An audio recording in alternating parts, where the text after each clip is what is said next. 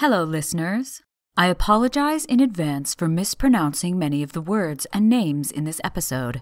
I researched how to say them, but I still probably won't get them quite right, as I'm not a native speaker of Hindi or any of the many other languages spoken in India, nor of Persian, which was spoken by the Mughal court during the time period we are going to talk about. Thank you for understanding.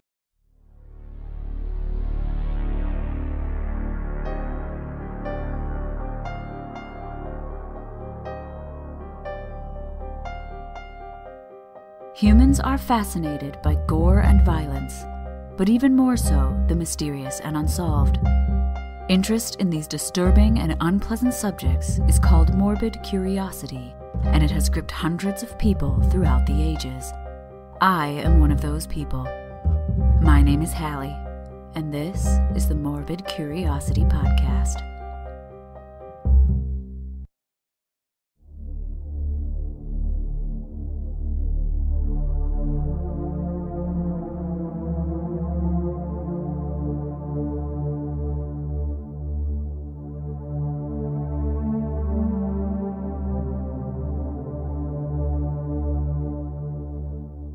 Tales of tragedy are often repeated over and over again in the press, especially when the tragedy involves the deaths of many people.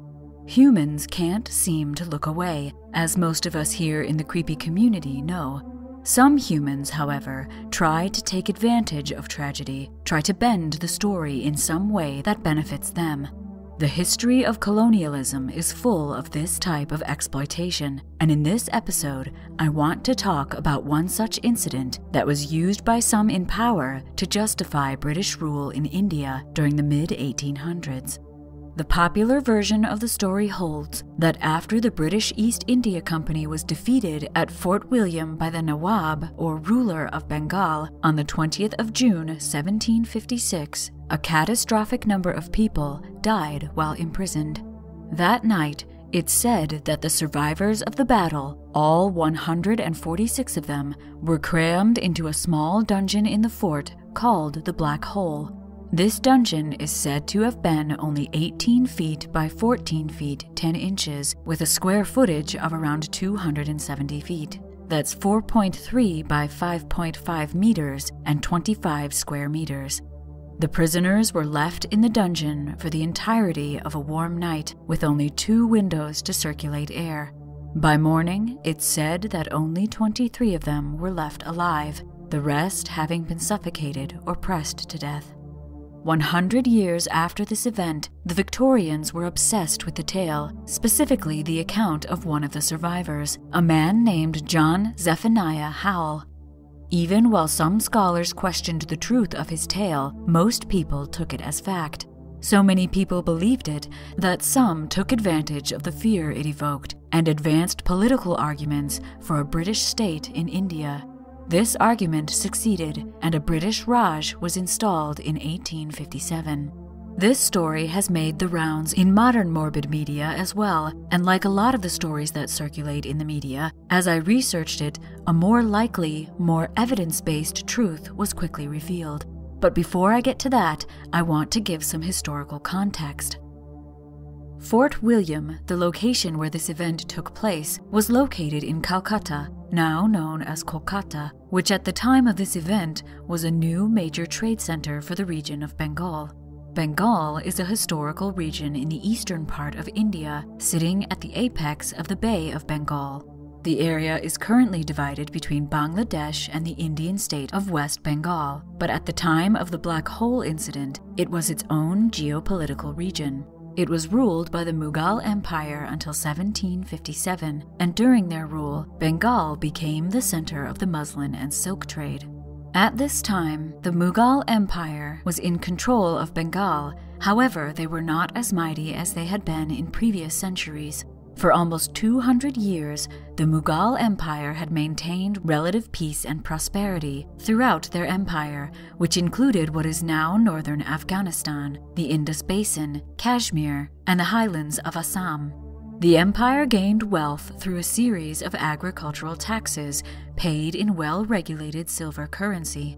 The empire gained further wealth when it began to trade with European powers, who craved spices and silks.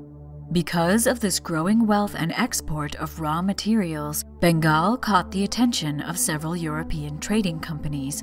The Dutch East India Company, the British East India Company, and the French East India Company were all created around the same time in the early 1600s to take advantage of trade in East India the Dutch East India Company was created to protect Dutch trade in the Indian Ocean. They soon became the center of power in the Dutch East Indies, what we now call Indonesia. They also had a monopoly on ocean trade for an extended period of time between the Cape of Good Hope in South Africa and the Straits of Magellan in southern Chile. The French East India Company was founded to compete with the Dutch and British East India Companies for trade rights. They were able to set up successful colonies on the island of Mauritius off the coast of Madagascar, but by the time they had established themselves in India, they were near bankruptcy. As the Mughal Empire began to decline, the French East India Company began to intervene in Indian political affairs in order to protect their interests, notably by forging alliances with local rulers in southern India and attempting to pit them against the British East India Company. The British East India Company was formed when the British Crown granted a group of London knights and merchants a charter to wrest some of the spice trade in the East Indies from the Dutch. They were unable to take over the whole trade, but did set up trading posts in Calcutta and Madras, now known as Chennai. Over time, the British East India Company hired troops as employees to defend their trading posts from other European powers as well as indigenous inhabitants of India. The company ballooned into a megacorporation with outposts around the globe, intense wealth, a private army, and a large amount of political power. In 1698, the company legally purchased Calcutta, Govindpur, and Chutanuti, three small fishing villages which eventually grew into the colonial city of Calcutta. Before the British East India Company established their trading post, Calcutta was a small agricultural and fishing village. The presence of the company expanded its borders and its population, making it into a large trade center. However, the indigenous population didn't benefit from this as much as the European newcomers who emigrated there to work for the company. Fort William was built in 1696 on the eastern bank of the Hooghly River, which runs through Calcutta. The original brick building was two stories tall with two projecting wings, roughly in the shape of an octagon, where three sides faced the water and the rest faced the town. A dry moat, or ditch, around 29 feet deep and 49 feet wide, or 9 meters deep and 15 meters wide, was dug around it in 1742.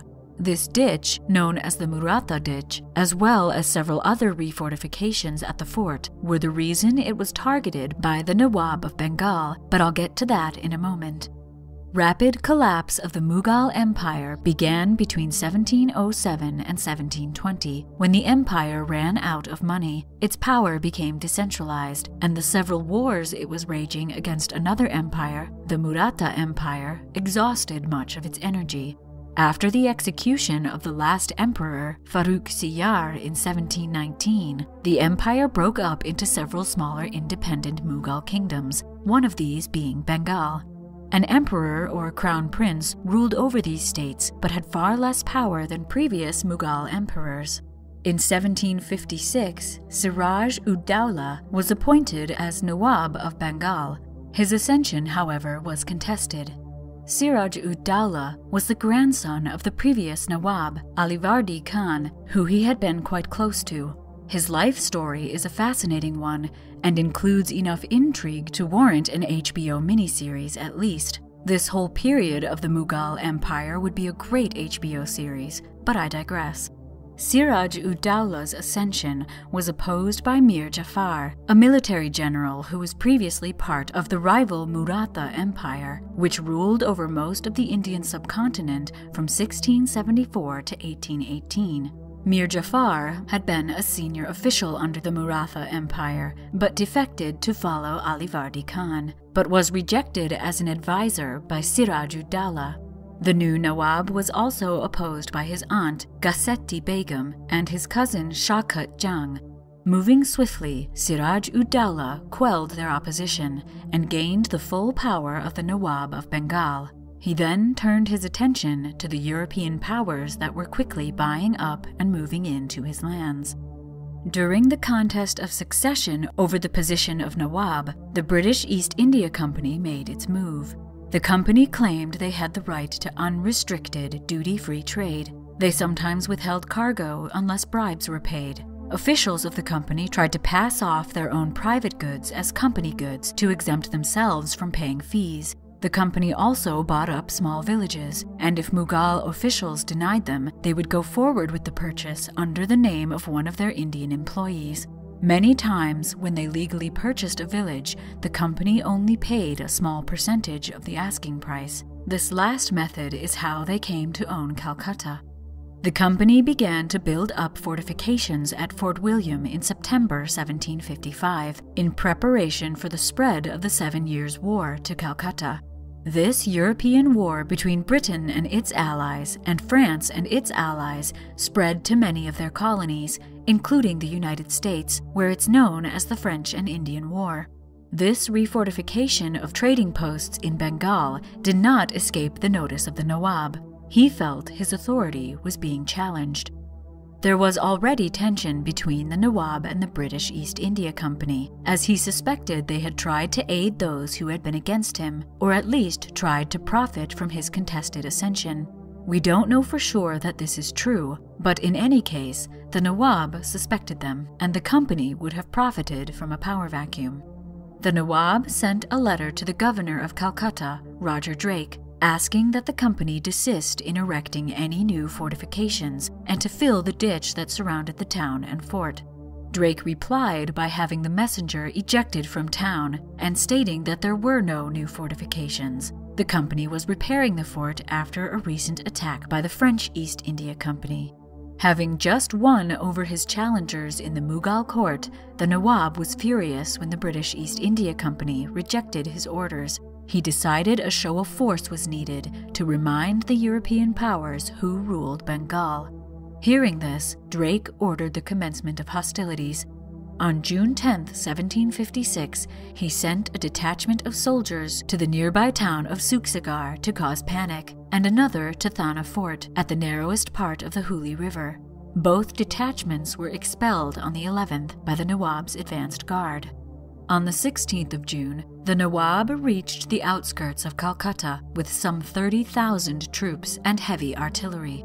The company forces set fire to many outlying straw homes in order to clear the town of any hidden Nawab soldiers. They set up their defenses around the European quarter of town, what is now Dalhousie Square, and the eastern and southern areas around it. All European women and children were brought into the fort, on the 17th, all Armenian and Indian Portuguese women and children were brought into the fort as well, as the Armenian and Indian Portuguese militia refused to fight alongside the company unless their families were kept safe. The majority of the Nawab's troops crossed the Maratha ditch on the 18th, and the battle began. The company soldiers were ordered to give no quarter as the prison in Fort William, the Black Hole, was too small to take any more prisoners. The Nawab's men attacked from the east and south, occupying the strongly built abandoned houses of the Europeans. This made the fort's artillery ineffective against them. The battery outside the fort was quickly abandoned, leaving it for the Nawab to take. The company's soldiers fell back further and further toward the fort. The small space became cramped, so that night all the women and children were quietly sent away on waiting ships in the river. That cleared space, but the soldiers that were left defending the fort were exhausted, without food, and running out of ammunition. Around 1 or 2 a.m. on June 19th, Governor Drake held a council, and it was decided that the fort should be abandoned, but he was uncertain how to do so. When the sun rose, confusion broke out. The ships that had been prepared in case of evacuation were gone, and the defenders were too scared or too tired to fight. When the ships finally did appear, there was a stampede toward them. Drake escaped on one of these ships and made it to the company base in Falta, just down the river from Fort William. Several ships were filled to the brim, but unfortunately ran aground soon after launching. Those aboard were captured by the Nawab's men. Fort William had been abandoned by its governors, but still contained around 170 European men who were still capable of fighting. A council of the survivors appointed John Howell, the town magistrate and tax collector, as governor and commander. Howell ordered that they make a stand, but the heavy musket fire of the Nawab's men from the occupied European houses made it impossible to stand on the fort's ramparts without being shot. On Sunday, June 20th, 53 Dutch soldiers deserted the fort and joined the Nawab. Howell decided to try for a ruse. He flew a flag of truce, hoping to make an escape at nightfall, but the Nawab's men scaled the walls of the fort around 4 p.m. A group of Dutch soldiers guarding one of the gates let the attacking army in, and Howell quickly surrendered. The Indian, Portuguese, and Armenian militia that were left inside the fort were allowed to leave. Several Europeans left with them in the confusion. There is still some controversy today over just how many European defenders were taken prisoner after the battle, which I'll get to after the break. Whatever their numbers, the defeated company men were searched and their weapons and valuables removed, but they were otherwise well treated. Howell met with the Nawab three times, and he was assured that no harm would come to them. There was, however, nowhere to keep so many prisoners, so they were scattered all around the fort. Later that evening, around 7 p.m., according to Howell, several prisoners found a stash of alcohol and became drunk and disorderly.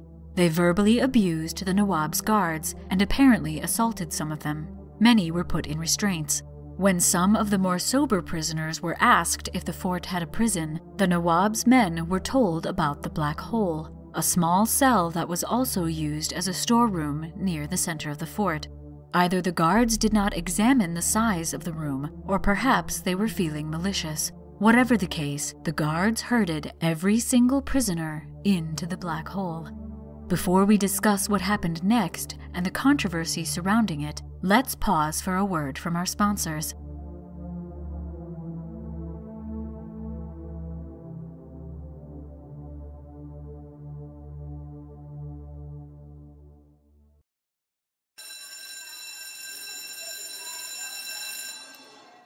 Hello, everyone. Let me tell you about the Apple for the Teacher podcast. I'm Anna Thomas, a teacher and your host. So you're probably thinking it's about reading, writing, and arithmetic, right? Well, think again. It's a fresh take on true crime, where you wouldn't expect to find true crime. In schools, yes, schools. You will hear tragic stories about murder, abduction, school bus hijack, student disappearance, suicide, kidnap and ransom, a school camp tragedy, the list goes on. So if you're looking for something a little different in the true crime genre, then Apple for the Teacher is for you. So join me as I present the bad apples. But until then, remember to be a good apple.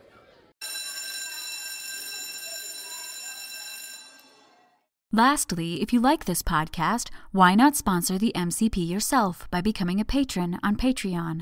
Over 30,000 people download this podcast every month, but only around 90 people are supporting us on Patreon. For a mere dollar an episode, that's $2 a month, you can get ad free episodes, bonus behind the scenes info, give your opinion by answering polls, help choose episodes, and get updates on past episodes. For $3 an episode, you get monthly outtake reels. For $5, you get a monthly quiz episode where I quiz my husband on past episodes. For $10, you get a detailed bibliography of all the resources I used while researching each topic. And for $20, you get a bit of miscellaneous morbidity, a short essay on a random morbid topic every month. Previously, we've reviewed horror video games, discussed the medicine of Westeros, and the plague pits of London.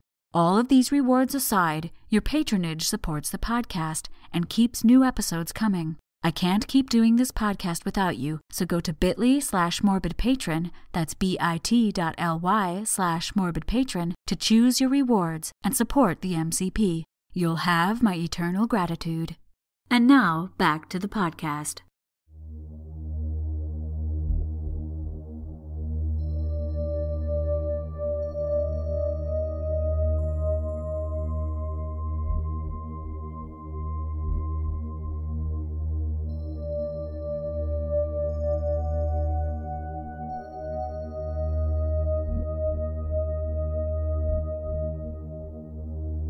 According to Howell's account, 146 adults were packed into the black hole by resentful guards of the Nawab. The black hole was not meant for more than two or three people at a time, and the room was so packed that the guards had difficulty closing the door. The room had only two small barred windows, and the luckiest prisoners were near these. However, the night was so warm and no breeze was blowing, so it did them little good. Several people tried to bribe the guards through the window to let them out, but they refused to be bargained with. Howell stated that by 9 p.m., several people were dead, and many others were delirious from the heat. One guard brought water to one of the windows, and all the prisoners surged toward him, crushing and trampling each other for a mere taste of water. By 11 p.m., prisoners were falling fast, and those left alive did their best to climb to the top of what was fast becoming a heap of the dead. According to Howell, when the door was opened at 6 a.m. by the Nawab's commander, only 23 people remained alive. Most had to be pulled out from the corpses to leave the room. Howell reported that fresh air soon revived him and the other survivors. He said the Nawab scolded his guards and brought chairs for the prisoners, but did not regret the deaths of the Englishmen. The corpses were thrown into the Maratha ditch, and the prisoners were moved to Murshidabad, the capital of Bengal. Howell's account was first written down in a personal letter to a friend and then published in a book a year or so later. It was taken as fact at first, but by the late 1800s, early 1900s, issues with consistency between the two reports were noted, as well as several other things that made some scholars doubt its validity. However, there were others who vehemently supported Howell's account, in 1763, Robert Orme, who was a member of the council at Fort St. George in Madras between 1754 and 1758, and who became the official British historian of India in 1769, published the first English language history of the Black Hole incident. Later in the 18th century, two scholars were great proponents of Howell's version of events. Colin R. Wilson, publishing in 1906, and S. C. Hill, publishing in 1905, believed that Howell's account was true. Both of these scholars were patronized by Lord Curzon of Kedleston, the British Viceroy of India between 1899 and 1905, who himself wrote in favor of Howell's account in 1925. It's possible that Lord Curzon may have been one of the people using the black hole incident as a way to show his British nationalism and gain favor after being passed over for Prime Minister of India in 1923. In 1916, J. H. Little, the British headmaster of the English High School in Murshidabad, wrote that Howell had vastly exaggerated the numbers in order to make himself out as a hero for surviving. Little pointed to inconsistencies between Howell's letter and his official account, and that Howell's account is only corroborated by people who were in league with him or repeating the tale. Little stated that the account also painted Howell as a hero who suffered through the night pinned to the window, only to be fully revived by a little fresh air the next morning. Little went as far as calling the story a giant hoax and stated that it was more likely that more company men had made stealthy escapes than Howell had reported when the Armenian and Indian Portuguese prisoners were set free. Indian historian Sir Jadunath Sarkar wrote in 1943 of a Bengali landlord named Bolanath Chunder who fenced off an area similar to that of the Black Hole and observed how many of his tenants could cram themselves into it. The number was around 60. This story is more of a local legend, but it does make an argument for thinking about the physical capacity of the space, not just the historical sources. Sarkar also wrote that it's possible that after the battle, the people who disappeared or their cause of death was unknown could have been mistakenly or haphazardly put down as perished in the black hole. Modern Indian historian Brijen K. Gupta theorized in 1962 that while Howell overplayed the event, Little may have underplayed it. The true number of people that were crammed into the black hole was somewhere between their numbers. Gupta came to this conclusion by analyzing the number of people reported present in the fort before the battle and the reported losses afterwards. Gupta also pointed out that no documents from Falta, where Howell and the other company men fled after their expulsion from Calcutta, made any mention of the black hole incident. There's also an absence of demand for compensation from the Nawab for lives lost at Fort William. This was a common practice of the company at the time. There are other accounts besides Howell's. However, Gupta makes a convincing argument that most of these other accounts can be traced directly back to Howell. Gupta theorizes that only one other person who actually survived the black hole incident was a man named George Gray. Gray wrote of his experience to the court of directors of the company in London. Another account, that of a man named Captain Mills, was written in his own pocketbook and is almost identical to that of Gray. The two men were in the same place soon after the incident, but Gray never mentioned Mills as a prisoner in the black hole, so it's likely Mills wasn't actually held in the prison, but, like many others did, decided to claim that he had been for the honor and renown placed on those who had survived. No list of prisoners was made by the Nawab's army, Therefore, we have to estimate the number of people left after the battle using the numbers recorded by the men of Fort William before and after the incident. According to Governor Drake, when the Nawab's army arrived at Fort William, there were around 230 to 245 Europeans at the fort. Tuke and Lindsay, company agents who were at the fort on the 16th, reported between 225 and 235 Europeans. Therefore, a safe estimate is somewhere between 225 and 245 Europeans being present before the battle. On June 18th, a large number of Europeans deserted the fort, including Governor Drake. Howell gave the names of 52 people, Mills mentioned five other names, and Tuke one other name, giving a total estimate of around 58 people. Between four and six Europeans were sent to make ready the retreat ships and never came back. 56 Dutch soldiers defected to the Nawab, and more fled when they gave up the gate to the Nawab's soldiers. An unknown number of Europeans then escaped with the Armenian and Indian Portuguese militia when they were allowed to leave the fort.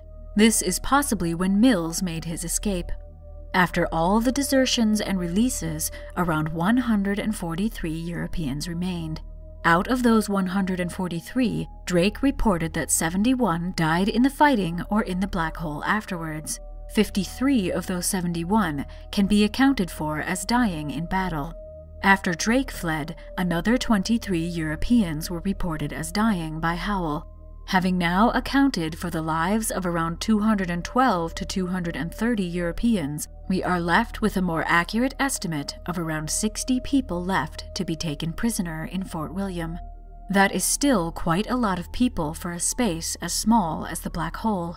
The number of people Howell reported to have survived the incident, 23, seems to be accurate, which means it's more likely that around 40 people died that night instead of Howell's reported 123 deaths. Howell may have exaggerated, but there is no doubt that this event took place. Around 60 people, many with injuries and most starving and exhausted, were pushed into a space meant for at most six people and were left there overnight. Over half of them died, either from injuries sustained in the battle or due to conditions relating to overheating, exhaustion, dehydration, or starvation. After the Nawab took the fort, he moved his armies to Murshidabad in triumph. The surviving prisoners went with him, and according to Howell, walked the entire three miles there. The British East India Company responded with an attack of their own, Lieutenant Colonel Robert Clive marched a huge force down from Madras toward Calcutta. Through their infiltrations in the Mughal court, the company had learned that there were seeds of dissent among the Nawab's council. One man in particular, Mir Jafar, who I mentioned earlier, was already scheming to overthrow the Nawab. Together, the company and Mir Jafar planned a betrayal. When the two forces met at the Battle of Plassey, Mir Jafar advised the Nawab to retreat at one point during the battle. While he was in retreat, Clive attacked. Mir Jafar and the other mutineers' forces refused to fight, leaving the Nawab with an extremely reduced army. The Nawab was forced to flee. He was soon caught and executed by the company on July 2, 1757. Holwell wrote his first account in a letter on July 17, 1756, and sent it to the Fort St. George Council in Madras. The book he wrote about the incident was published in February of 1757 and circulated widely back in Britain. News of the incident caused outrage among the British public, causing them to push Parliament into letting the British East India Company do whatever it felt necessary to pacify the indigenous people of India. Mir Jafar was installed as the Nawab of Bengal, with military support from the British East India Company. His rule didn't last long, however. The company discovered he was making deals with the Dutch East India Company, and he was quickly replaced with his son in law, Mir Qasim. However, Mir Qasim turned out to be a strong anti company leader and was quickly removed as well. Mir Jafar was restored as the Nawab and ruled until his death in 1765. To this day, the name Mir Jafar is used in the Urdu language as a synonym for traitor. The Mughal Empire was formally dissolved after the Indian Rebellion of 1857, and instead of continuing to let a merchant company govern the country, the British Raj was installed by the Crown. This began a mostly peaceful era of British rule over India. After World War I, in which around 1 million Indians served, the non-violent Indian independence movement arose, led in part by Mahatma Gandhi. Siraj ud Dowlah became a symbol of opposition against the British, just as the Black Hole incident had been used as a symbol against the people of India in the mid 1800s. During the 1930s, slow legislative reform was enacted by the British, and the Indian National Congress won victories in the resulting elections. India became an independent nation in 1947. According to Partha Chatterjee, political theorist, historian, and author of The Black Hole of Empire, the confusing history of the Black Hole of Calcutta has brought two thoughts to the forefront. One, that the consequences of imperial impulses are never benign, and two, that resistance to that imperial impulse is often violent and mindless. Simply put, Neither the British East India Company nor the Nawab of Bengal and his armies come out clean in this incident. This lack of solution is a common theme in many historic tragedies. There is no way to go back and fix the situation, and there are only so many documents to search before the trail runs cold. There just isn't enough information to learn the whole truth. The violence, the confusion, and the absence of closure surrounding the black hole incident is what draws out our curiosity.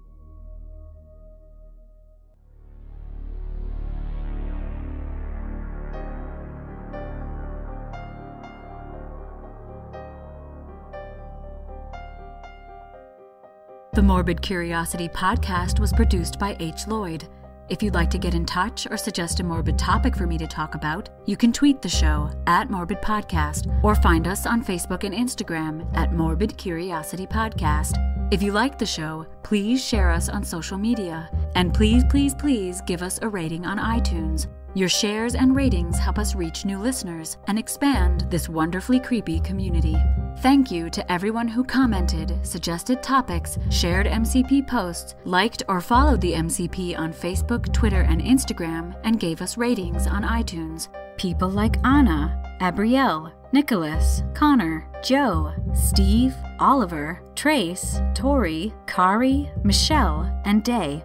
Steve and Oliver have my eternal gratitude for becoming patrons. Thank you so much, and I wish you luck and lots of natural 20s in all your future Dungeons and Dragons campaigns.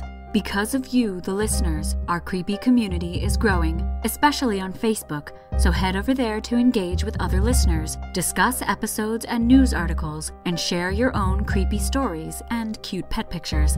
The MCP is part of a wider creepy community known as the Belfry Podcast Network. Check out the other shows on the Belfry Network at www.thebelfry.rip. As I said before, if you really like the MCP, please consider becoming a patron on Patreon. You can also give one time donations by going to our website, www.morbidcuriositypodcast.com, and clicking the donate button. On our website, you can also find links to all our social media and sponsors, and other ways to contact us. If you'd rather contact us by mail, this address is also listed on the website. Another way to help the show is by going to our Amazon wish list at bit.ly slash morbidwishlist. Any purchases from this list are greatly appreciated. We are eternally grateful for your support. My name is Hallie, and until next time, thanks for listening.